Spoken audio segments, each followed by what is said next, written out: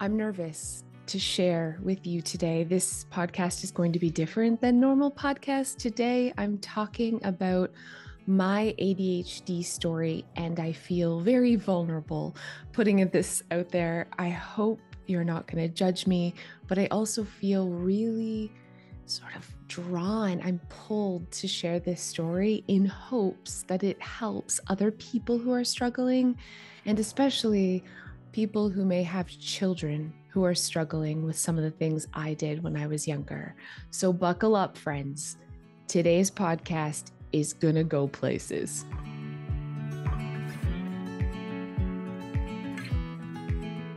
Hey, Clutterbugs, welcome back to the Clutterbug podcast.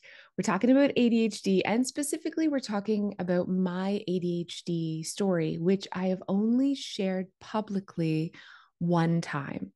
And I shared this at an ADHD conference that I went to. I was their keynote speaker. I wasn't sure what to talk about. So I shared my childhood story and my own experience growing up having ADHD and undiagnosed ADHD and where that led me in my life. And it's so shameful, and you're going to hear why, but I made a lot of really terrible mistakes. And I did really bad things that still haunt me to this day. And I still carry them with me every single day. I think about the things I did. I feel guilt and shame for those things every single day of my life. And now that I have a diagnosis, which I only received a few years ago, I do have a lot of sympathy for that little girl when she was younger. I, I look back at her and I just want to give her a hug, right? And and so let's jump into my story. Maybe some of this you can relate to, maybe some that you can't, but I'm hoping at the very least, listening to this, you may have more sympathy for those bad, wild, terrible little children that maybe you know. Okay, because they're not so terrible. Let's jump in at the very beginning. I am very, very old. I was born in 1979. So, growing up in the 80s, especially growing up in a really small town, I had never heard anyone ever mention ADHD. This was not something that anyone ever talked about. My parents had never heard of this. And growing up, all the adults in my life, teachers, doctors, medical professionals, my own parents, the general consensus was she needs more spankings like the the I was very hyperactive. I was very impulsive. And everybody just basically said she needs more discipline, right? Yeah, like she needs to control herself or other people need to control her. That was it. And I was like such a cute little kid, but I was extremely hyper. At first my parents assumed and and doctors as well that I was allergic to sugar. That was the first diagnosis that I received at about the age of 2.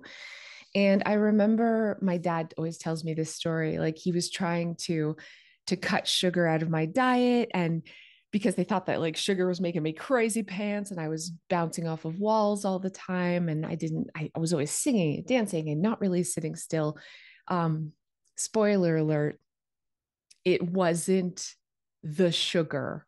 I was just a very, you know, active and a very sociable and very talkative little, little, little child. And because I was all of those things, I heard a lot of adults in my life really refer to me as annoying.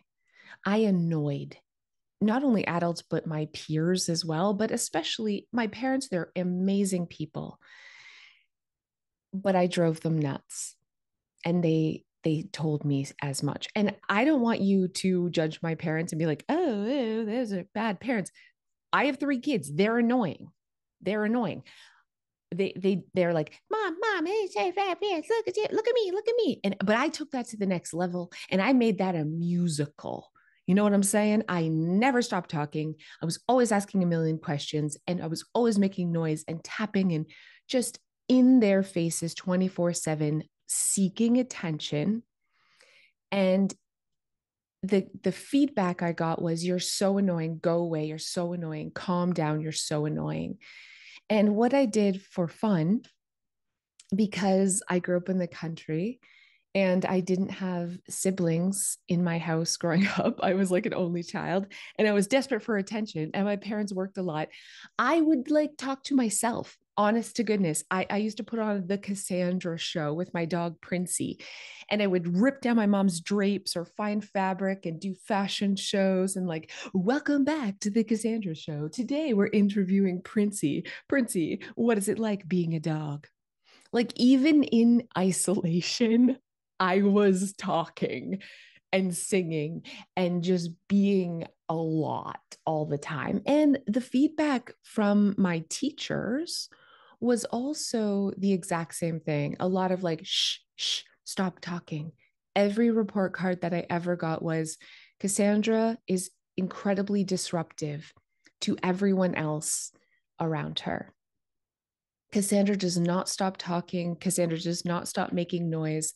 She disrupts the class all the time. That was always the feedback. And then in grade six, I had one teacher, I'm not going to name names of this teacher, but he actually moved my desk into the hall.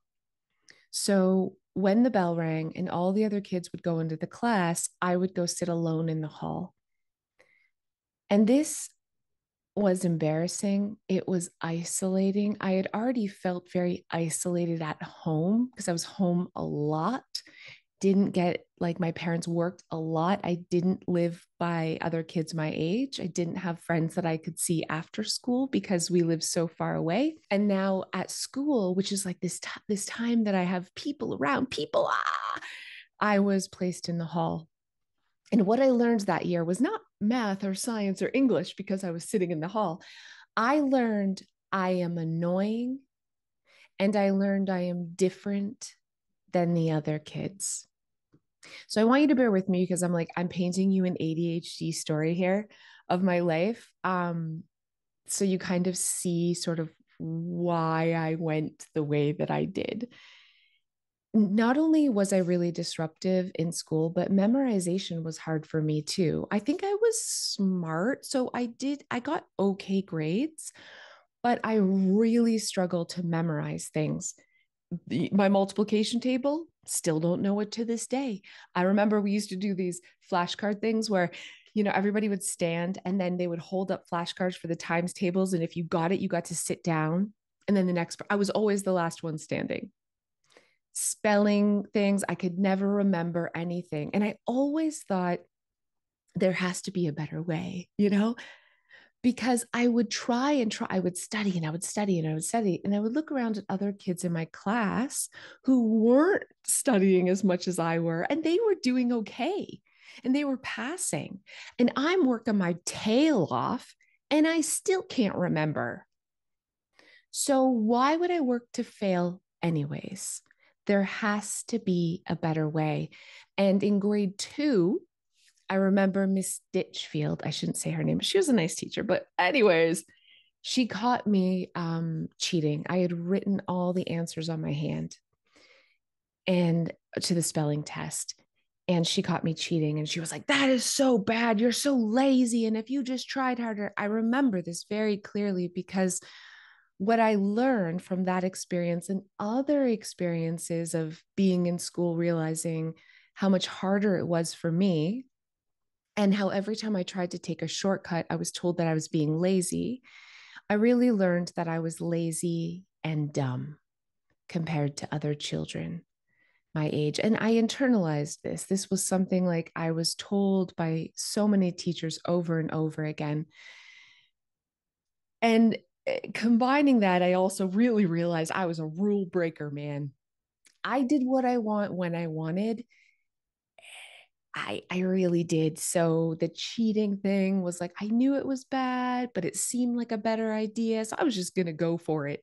I didn't have a lot of that what if I get in trouble? Let's think about consequences in the future.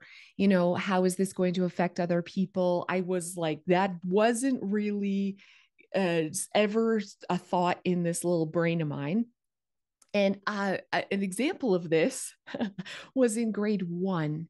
In grade one, I remember convincing my best friend, Jenny, to walk home with, with me from school uh, at first recess because I really wanted like Pop Tarts or something, like some sort of snack. And I lived far, it was a far walk.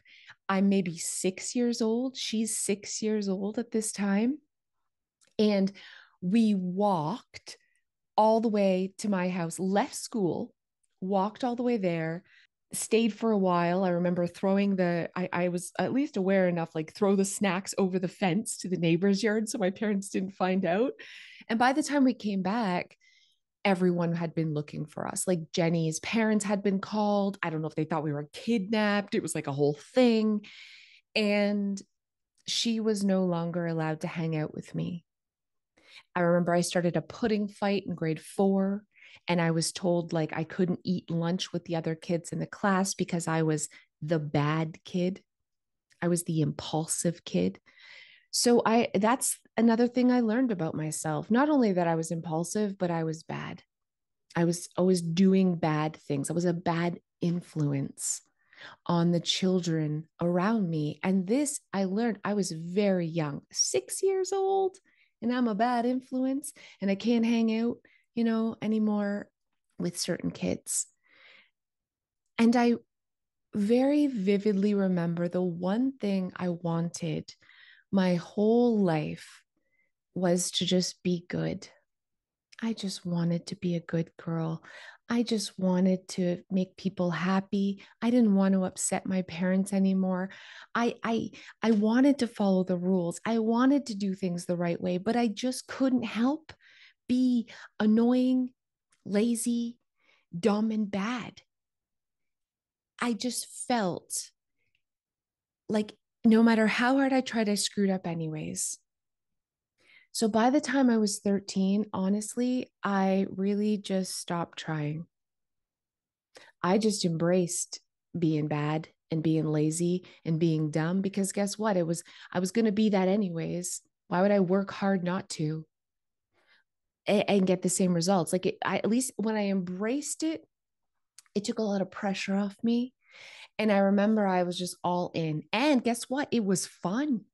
I was doing things like even young, very uh, probably around the age of 10, I started shoplifting and and doing like these little impulsive dopamine seeking bad things. And by the time I was 13, I was just, I did not care. I was like, whatever. Yeah, coo, coo. I think I was still a good person. I know I was still a good person as a kid. I would never have hurt someone on purpose. But I also didn't try to really contain my wild anymore. I kind of let that out. And one of the biggest contributing factors, definitely around 13, 14, 15, I started to really notice a trend with the adults in my life, how miserable they were. There's this narrative that I was given, and not just by my parents, by teachers, but society in general, that if I worked hard, if I worked hard in school, if I worked hard and got a good job, I could have this life that was like a good adult life. And my parents had what everyone was saying, and they were saying was like the like a good adult life. They both had okay jobs. They worked a lot. They had a nice house. They had a boat. They had a trailer. They got to go on a vacation once a year. They had a big in ground pool. So the narrative was this is like, this is goals for an adult. Like, this is the life you want. This is what you're working so hard to strive. This could be your life if you're lucky one day. This is the best that you could really get. And what I saw was my parents working like a dog at a crappy factory job. They had crappy factory jobs. They worked shift work. They worked all day on their feet. They were exhausted. They were sore. They came home. They had to cut grass. They had to cook dinner. They had to clean. They had to work all day at night. They were miserable. All they did was complain about how much they were worked, how tired they were, and how much more they had to do, and they never caught up. They never caught up. I never saw them really enjoy themselves, have fun. I certainly didn't see them do anything exciting or like, yay, you know, it was this mundane, boring, miserable existence. And if I worked hard, I could have that too. No, thank you. 13 14 15 i i was like i don't want to be that I don't want to grow up. I don't want to fit into society's box. I don't have any desire to follow the rules and become that because that looked like my absolute worst nightmare. It really did. Boring, mundane, miserable existence. That's what my perception was. Sure, it wasn't that bad, but I certainly didn't want to work all day at a crappy factory job and come home and clean my house and cook grass and do laundry and make dinner and and no thank you. So I made the decision, like a conscious decision at the age of 15 that I could either take the path that everyone else in society was taking and continue to work hard in school or try to work hard in school even though it was really hard and tough so I could live my parents' life or I could choose to be happy I could choose to be free and wild and and just figure out a new way a better way an easier way to live life outside of this box which felt stifling and suffocating and miserable to me. So at 15 years old and i had been thinking about this for a long time i literally just packed a bag. I'm sure we had a i had a fight with one of my parents or something but um I had already made the decision that I wasn't going to stay in that house and live that life. And that was not going to be my future. And I was very stubborn. So I packed a bag and I left at 15 years old with uh, clothes that I had grabbed, and um, I became homeless. And I, at first, was like bouncing from couch to couch, different friends who would take me in but nobody's going to let some random kid sleep on their couch forever, right? Their parents were like, she's got to go. And I also was really aware I didn't want to overstay my welcome. There was lots of times that I slept in parks under under picnic tables. I slept in and out of teen homeless shelters. Homeless shelters would only let you stay for 30 days and then you would have to leave for 30 days and then you could come back for 30 days. So for years, I would literally live in a place called the transition house for 30 days and then be homeless for 30 days and then go back. Dropped out of high school, obviously, was really broke. Didn't, couldn't wash my clothes, uh, smelled, didn't have any food. I was extremely hungry was living like off candy that I could steal from variety stores. There were many days I had no food at all. I got involved and started getting hooked up with other homeless teens, obviously from the homeless teen shelter, and then outside other homeless teens that didn't have a place to go. Sometimes we would all, you know, we would all steal and then pool that together and, and pay for little apartments, you know, and we'd all have to go out and steal change from cars or do what we could and then pool our money so we had a place to live. But most of the time we slept outside. It was a hard it was hard but I didn't want to go back and I could have went back at any time. Like my parents were wonderful non-abusive people. Unlike most of the homeless teens who were leaving because of abuse or trauma I just was so stubborn. I was like I'm going to figure something out that is not that life. I'm going to find another path and I definitely, because I was so impulsive and didn't have any rules at all, I was doing little crime and I was doing drugs and I was drinking and I was engaging in a lot of really, really toxic negative behavior. But I got really sick of being broke. And again, there's got to be a better way. I started coming up with more elaborate criminal schemes. I want you to think of like Catch Me If You Can, you know, with Leonardo DiCaprio except I wasn't a smart criminal like him. And uh, for a while, it was I was doing okay, and I was doing all these little like different things. I'm not, I'm not going to give you ideas by telling you what I was doing, but I was doing some stupid stuff for money. Eventually, I got caught, and by this point, I was actually an adult.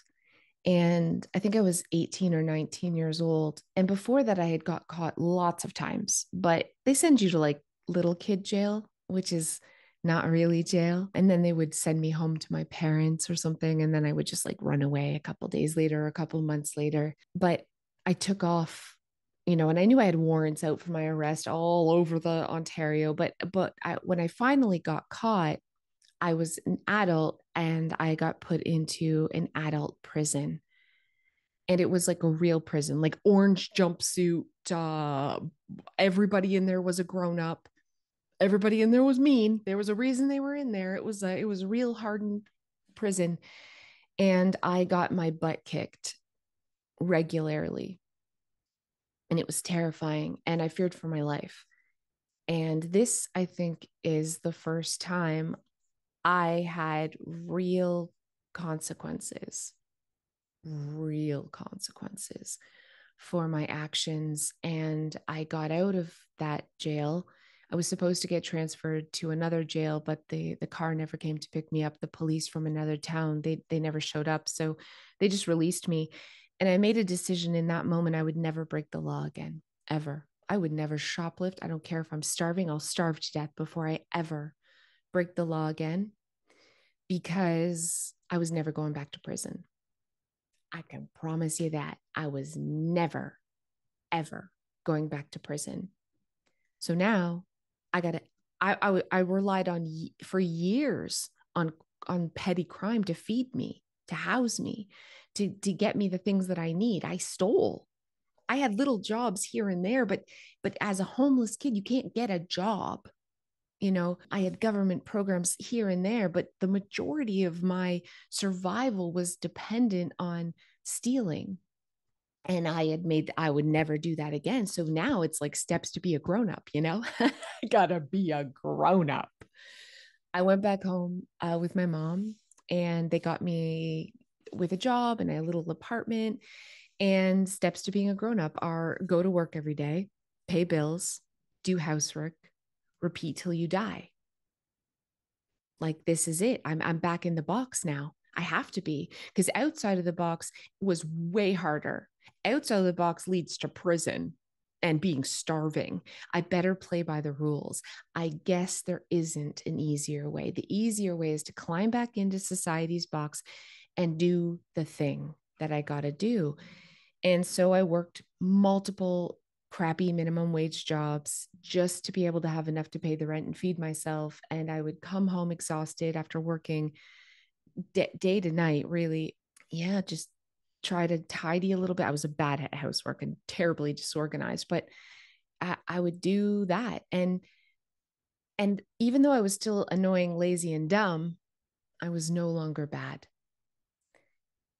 I probably would have lived that way for my the rest of my life dead end minimum wage jobs that I would often get fired from because I was so forgetful or impulsive or just not great at it or was not i would try to like find shortcuts still you know like I, I, was still all the things. And so i i was constantly getting fired or quitting jobs and getting new jobs but i was always working and i was trying my best and i wasn't happy. I wasn't it wasn't fun it wasn't exciting i didn't feel passion i just felt like this is life this is what my parents do you work all day to pay the bills, slowly hope you get a nicer place to live. And and that's it till you die. Okay. I resigned my fact to that uh, to the fact that that was life. Until I had life-changing moment number 1.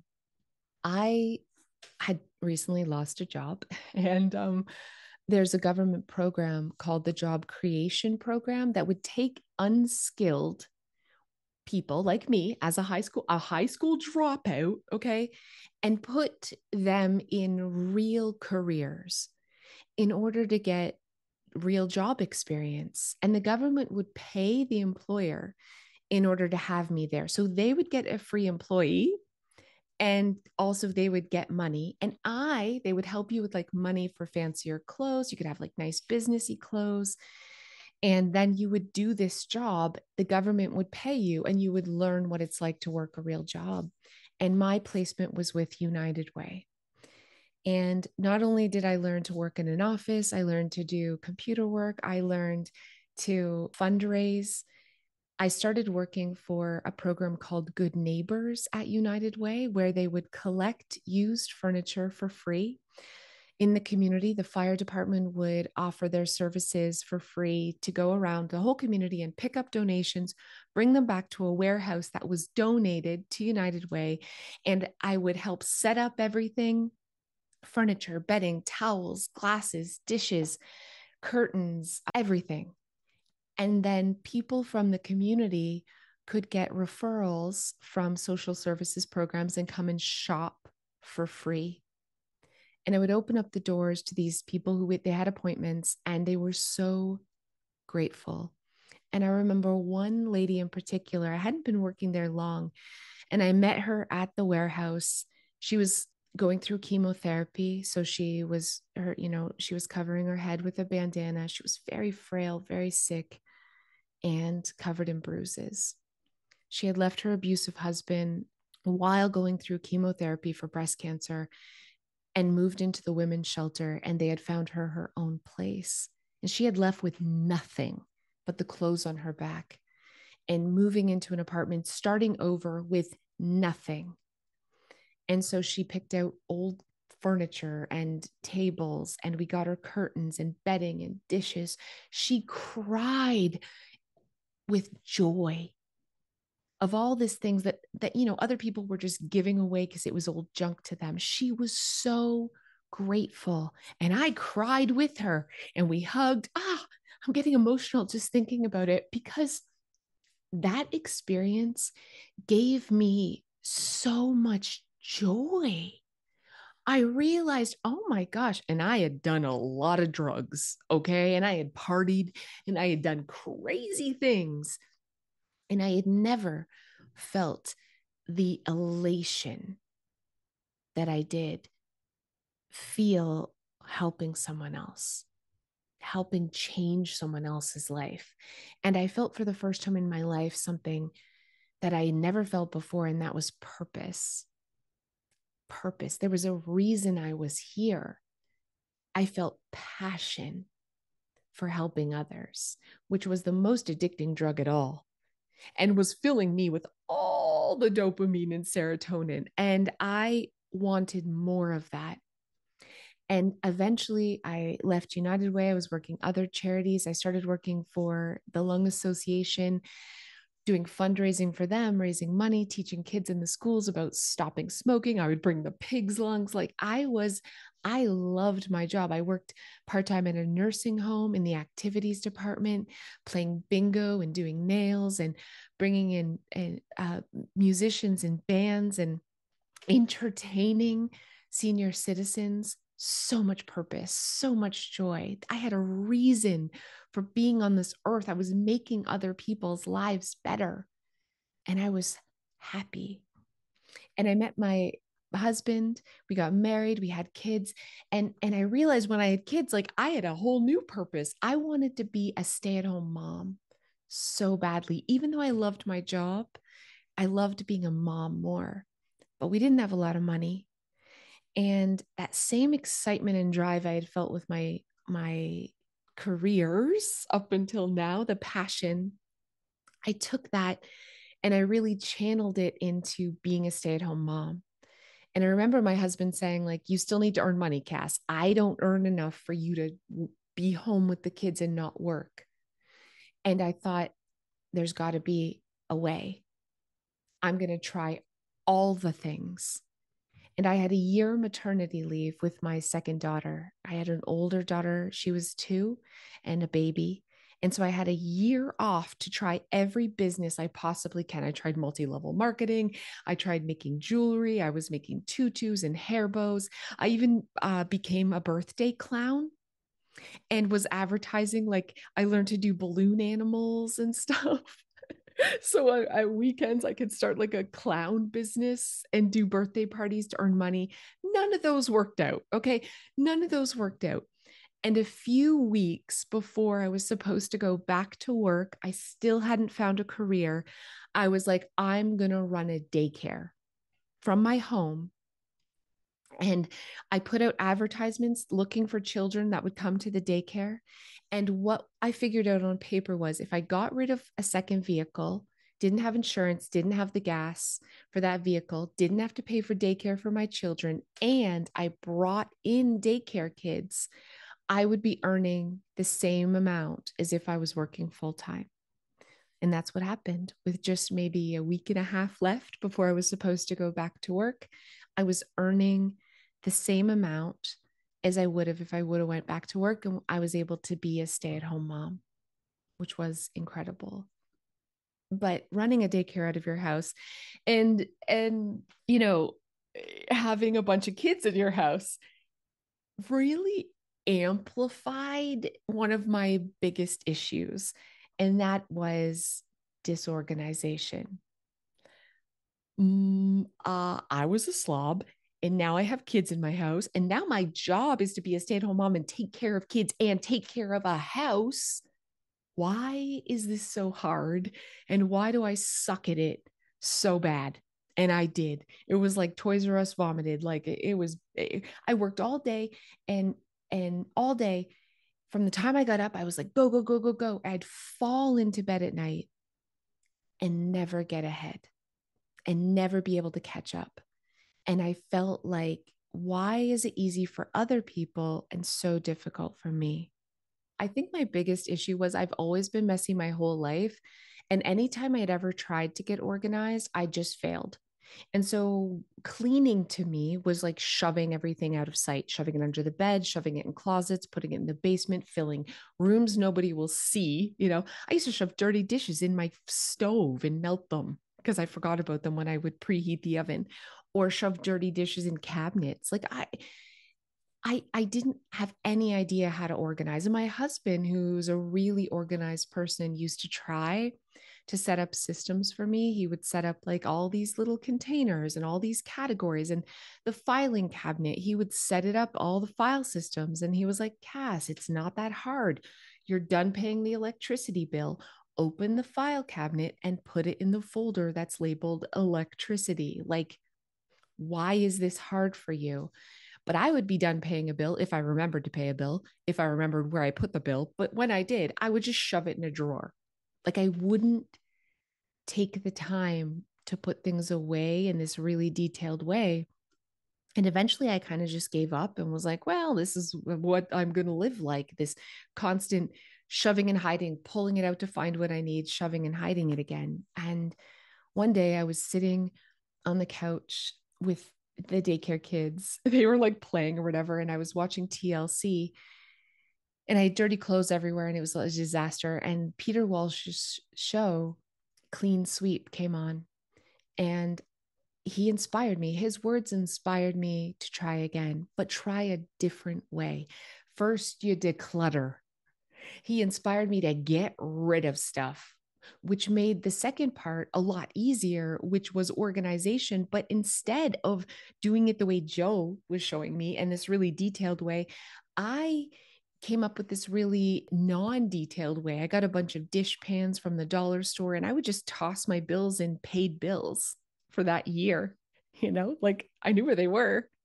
And I was actually putting them in a place that was, I, I could find it again and I did this approach to everything, whether it was medication, extra products, um, my socks. I didn't fold my clothes. Uh, everything just had a home, but I gave myself permission to kind of make big categories and put it away kind of messily.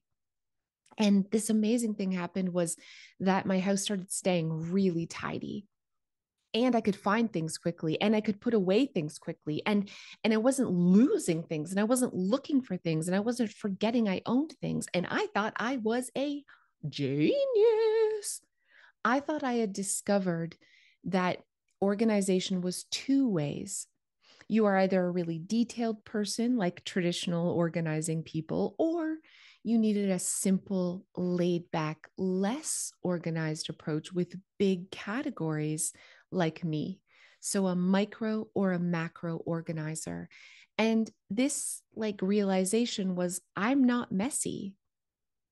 I just organize differently, which was my second life changing moment in my life, like my big, huge life changing moment was that organization was not one size fits all. And armed with this knowledge, I not only got my entire house organized, I started helping friends and family. And then I thought, could I do this as a business? Because I was getting like referrals from people, and people were like, Hey, you want to help me? And I started advertising, like, I can help you get organized. And I reached out to real estate agents, like, Hey, I see this house on my street isn't selling. It's kind of messy. I can organize it for free.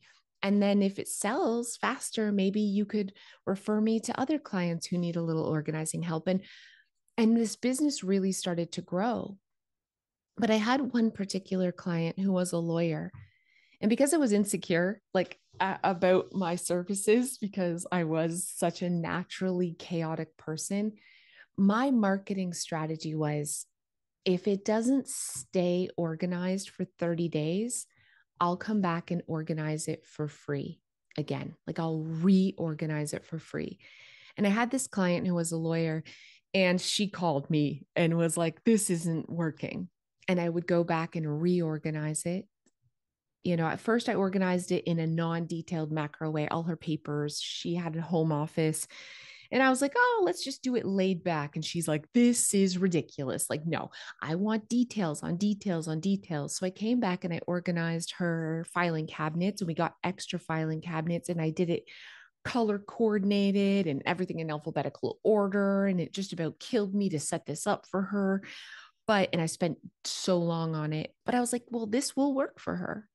And then she called me back a third time, and I walk into her office, and I kid you not, all the files or a lot of the files that were in her filing cabinet, she had pulled out and spread on the surfaces of her desk, spread on the floor, spread on her credenza. Everything was spread. There was sticky notes and post-it notes all over everything.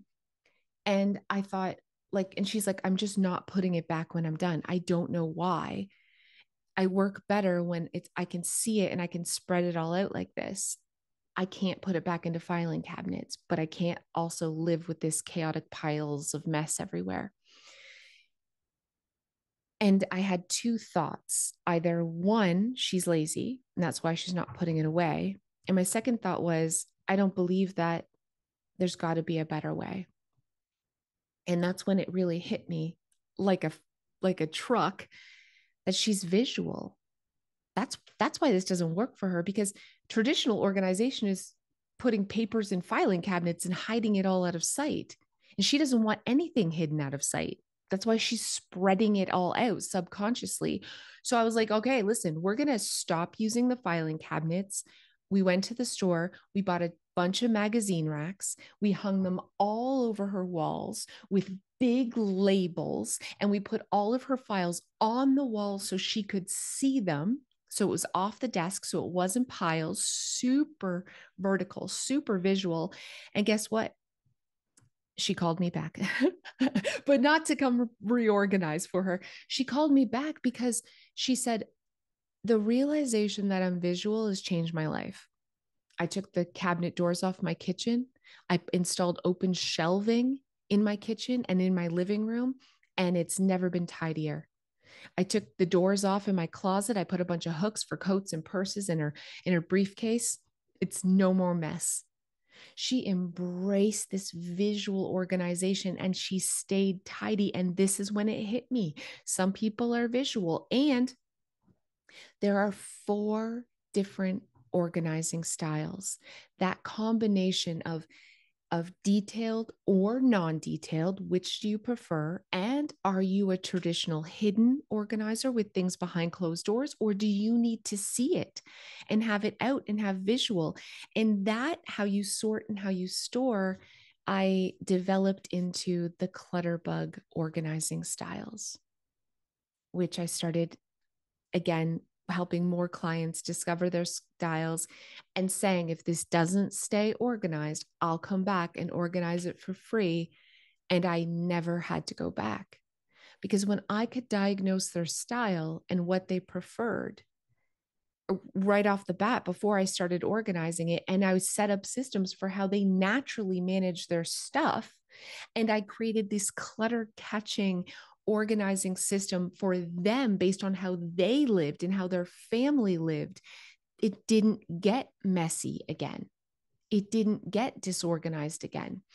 And and this was the and is the whole basis of my business. I started making just all of this content and helping all of these people based on this method because maybe you're not actually bad at it organization maybe maybe you don't suck at organization maybe you just need to try a different way and it worked and it was proven again and again and again with hundreds of clients and I was so now passionate about this I was like, this is my purpose. This is my passion. This is what I'm meant to do. I'm still running a daycare.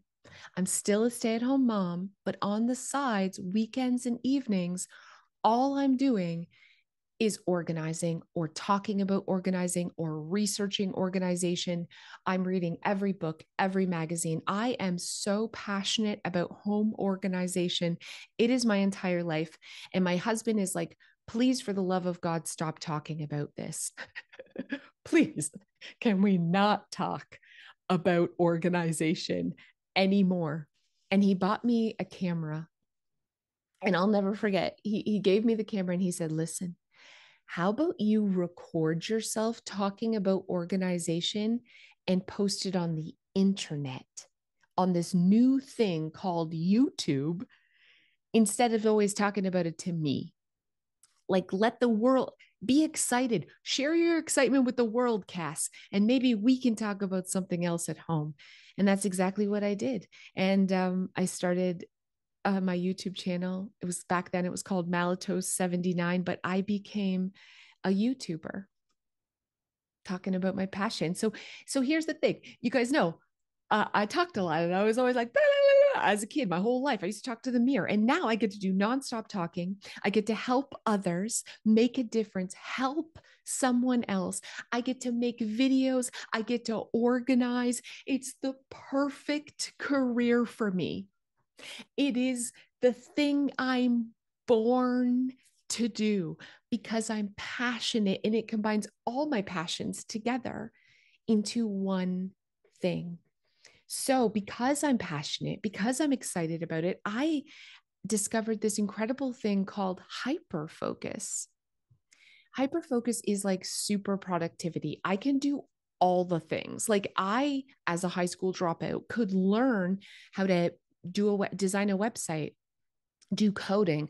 I learned I taught myself how to use a camera, how to learn editing use editing software, taught myself how to do graphic design, taught myself how to do courses, do marketing. I wrote books, like crazy pants things. I got done so quickly. I wrote my first book in like two months because I'm just like a rabid spider monkey because I'm hyper focusing on it because I'm so incredibly passionate. And eventually I started earning so much money from this organizing business that I was able to stop doing daycare. My kids were going to school full time, anyways. And this became my sole career. And now, Clutterbug, I mean, I developed the quiz so to help people identify their organizing style over 5 million people take that quiz each and every year. I have four books, which were all bestsellers. Um, I got a show on HGTV all about the four different organizing styles. Like HGTV show Hot Mess House was based on the four organizing styles. And I'm at the height of my career. And my life is incredible and I'm earning great money and we're we're I have beautiful children, a wonderful relationship, great friends. But my house is tidy and spotless all the time. Like from the outside, it's like da da da da. I I I'm winning at life. But for some reason, adulting still felt so hard for me. I felt like I struggled more than the average person with things like remembering dates, remembering what I'm supposed to be doing. I had all this success, but I had to have 50 million alarms and messages and calendars and apps and and things just to remind me. I I had spots for my keys and and wallets and everything, but I had to work so much harder to do like basic things and I got very distracted. And I still I know that I was I I was still annoying people in my life because I was told, gosh, you're so annoying, calm down. Extremely forgetful. That was the worst thing. I would often also interrupt people and like bring it back. Like I, I wouldn't let people finish their sentence. So I had a hard time making new friends because I was just like, but, but, but talking over them. And often also, this is another thing that I would do anytime I was in a social environment, I would feel very uncomfortable and awkward because I was so aware of all of these little annoying, I talk too much, I was very impulsive traits. And I would get that social anxiety would cause me to blurt out really inappropriate things. I would tend to overshare about personal things like, oh my gosh, I pooped my pants last week. You know, to I thought it was a fart. It wasn't to a completely random stranger or I'd be in an environment where we're supposed to like be quiet and behave. And I would just feel like an impulse to say, like, balls or something, or swear, or like it was weird, not Tourette's level, but I just, I had a hard time being a grown up and behaving. And I remember going to my doctor, my family doctor, and I was 40 years old and I said to him, I cried. I said, I have all this success on paper, but I'm 15 minutes late for this appointment because I forgot about it six times today. And I had to remind myself and have multiple alarms just to get here. I I forgot to eat breakfast and lunch. And I don't even know what I'm doing and where I am and where I'm going and I I struggle with relationships and I struggle with just everything in my life and I struggle to remember things. I still don't know what 9 times 7 is. And I've been teaching my kids their times tables for years. Like what is wrong with me? Something is wrong with me. I know this. Something I'm not normal. And I was crying to him, and he said something that changed my life. He said, I think you have ADHD. Now, the way he diagnosed me, he was like old dude, okay? He was like in his 80s, my family doctor. And um, he, he didn't send me to a psychiatrist. He didn't get me tested. He said, Listen, here's what we're going to do I'm going to give you some Ritalin. If it makes you high, you don't have ADHD. If it calms you down, you do have ADHD and come back to me after two weeks and let me know how it went. And so he, he prescribed me some Ritalin. And I was like, okay, this is weird. Sure. And I took the Ritalin and it was like, oh my, I can't, I can't describe it. I'll never be able to describe it with words, but it's like someone turned off the TV in the background of my mind that I didn't even know was on. Suddenly, my brain got calmer. And my physical body didn't feel calmer, but my brain was like, oh. It wasn't like, it was just, I could have a thought, one singular thought at one time. And I was no longer as forgetful. I was no longer as distracted. I was no longer as chaotic. I was calmer. I wasn't interrupting people. I wasn't as annoying. And it didn't change my personality. And I was still a little bit of all those things, let's be honest. But I stopped doing silly things like losing my phone at the store, or putting it in my boob and like looking for it for six hours, even though it's in my boob, or you know just all the stupid stupid leaving the the the house and forgetting to put on pants like just you know always a basket case and and taking medication really helped with a lot of that it did not cure me i but it it was life changing enough And yet it changed nothing. But here's the biggest thing it changed. For the first time in my life, I realized what's wrong with me? Nothing at all. I had a new perspective. I started realizing like this is a isn't that you're not trying hard enough. It isn't that you're not smart enough. It isn't that you're too lazy or dumb. You have a real medical condition, and you wouldn't shame someone who has diabetes because their body doesn't make insulin. So, why am I shaming myself for having ADHD and the fact that I'm chronically low on dopamine and my I don't have good executive function in my brain my brain's always looking for stimulation so I need to take stimulants to stimulate my brain so that it can calm and relax.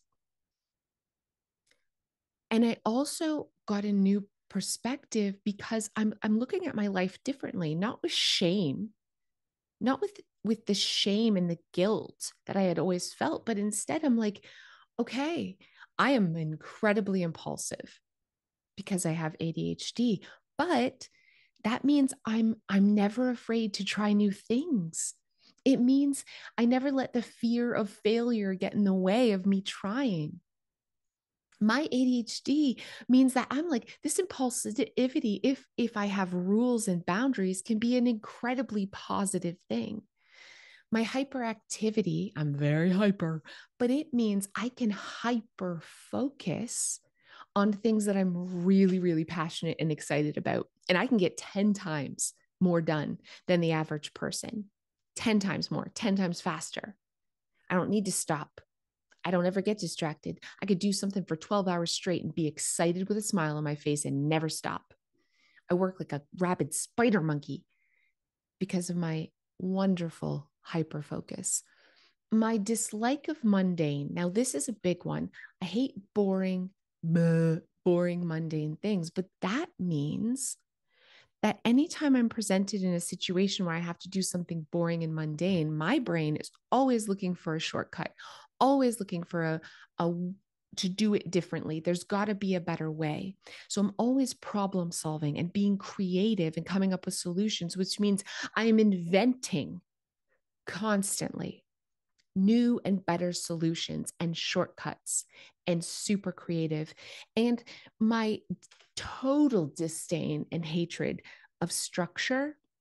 And like, this is the way life's got to be follow these rules means that I get to create my own path, that I get to go outside the box.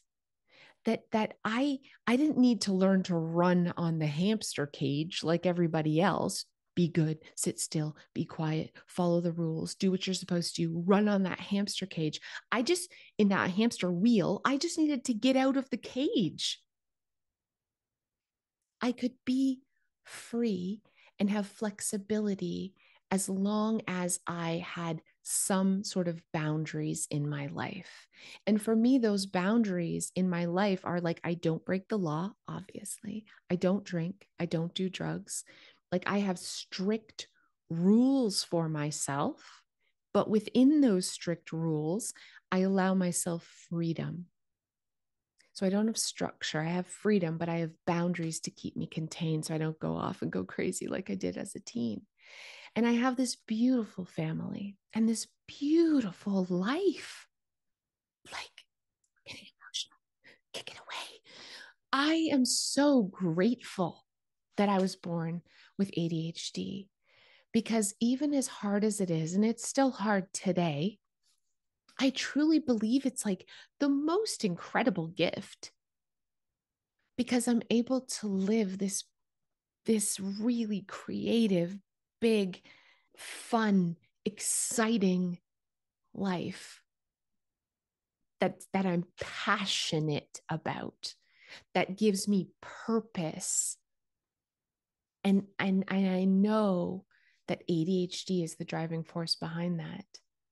So, the reason I wanted to share this story with you is because, God, I'm feeling emotional.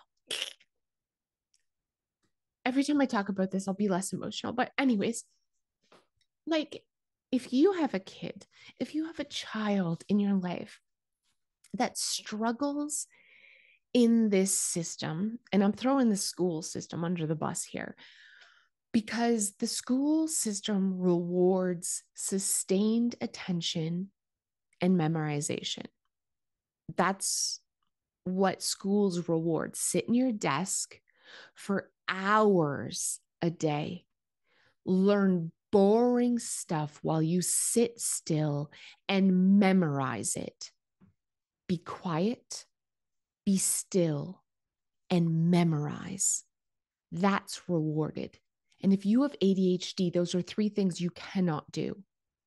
So you are told that you're annoying, lazy, dumb, and bad because you don't fit in to this box, this system that is the opposite of how ADHD brains work. So